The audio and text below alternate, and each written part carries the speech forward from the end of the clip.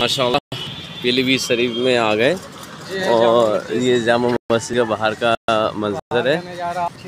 हाँ। अब आगे का दिखाते हैं। आगे चलते हैं। इसमें गुंबद है। क्यों तजीम भाई? पार्किंग के लिए है।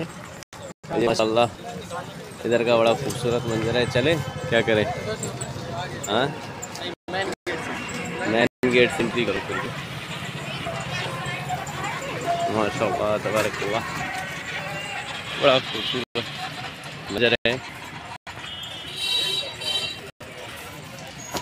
अब इतने पे रुक के माशाल्लाह तबारकल्लाह ये बड़ा खूबसूरत मंजर है इस मस्जिद मुबारक का जामा मस्जिद है यहाँ की ये पीलीभीत शरीफ की बड़ा बुलंद दरवाज़ा है बना हुआ आओ अंदर चलते हैं अंदर से देखते हैं कैसी बनी हुई है। माशाल्लाह बाहर का नज़ारा तो बड़ा खूबसूरत है।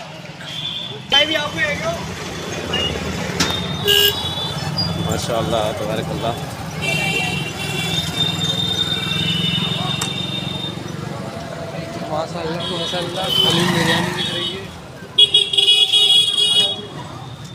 और ये जामा मस्जिद आ गए। खूबसूरत नज़ारा है। माशाल्लाह। ये पीलीभीत शरीफ की जो है, यहाँ की जामा मस्जिद है। माशाल्लाह, तबारकल्लाह।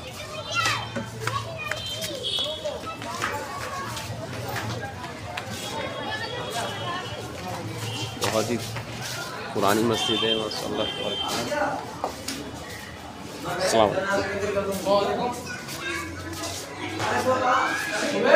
यहाँ पे चप्पल रखने की जगह है। उसके बाद में एंट्री होती है यहाँ से। ये पानी का एक हौज बना हुआ है यहाँ पे। माशा- ये माशाल्लाह। ये पीलीभीत शरीफ की जामा मस्जिद है। पानी का हौज है।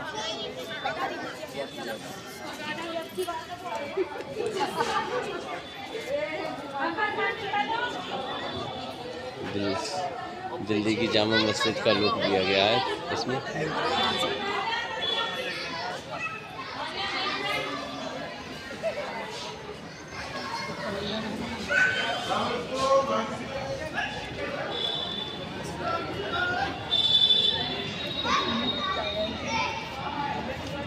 ये पीलीभीत शरीफ की जामा मस्जिद का नज़ारा है, माशाल्लाह।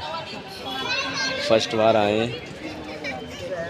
अंदर, जामा मस्जिद के अंदर पीलीभीत में। पहले तो आए थे बाहर से ज़्यारत करके गए थे, सोचा कि आज वीडियो बनाऊँ, एक आप लोगों को भी ज़्यारत कराऊं।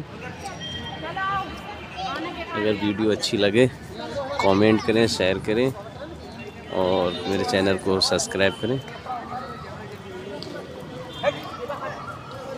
ये वज़ू बनाने के लिए है, हौज।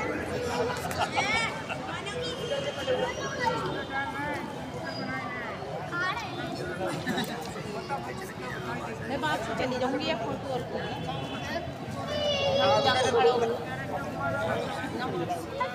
हाँ भाई।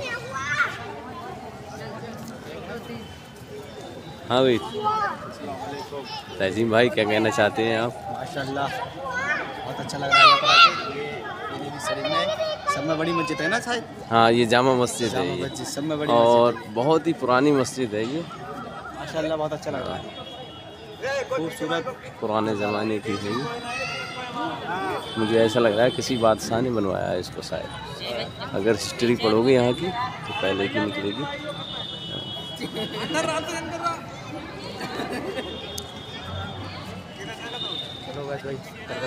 अच्छा चलते हैं। शाहजी मियाँ के यहाँ पे चलते हैं। वहाँ की दरगाह शरीफ पे ज़्यारत करते हैं और इन लोगों को भी ज़्यारत कराते हैं इन बड़ा खूबसूरत नज़ारा है। तो नहीं भाई। बहुत खूबसूरत नज़ारा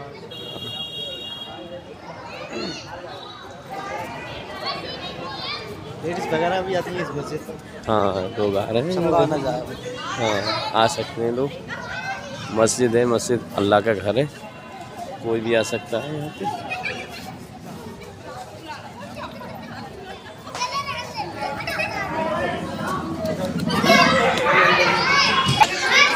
और चलते हैं अब शाहजी मियाँ के यहाँ पे, दरगाह शरीफ की जियारत के लिए।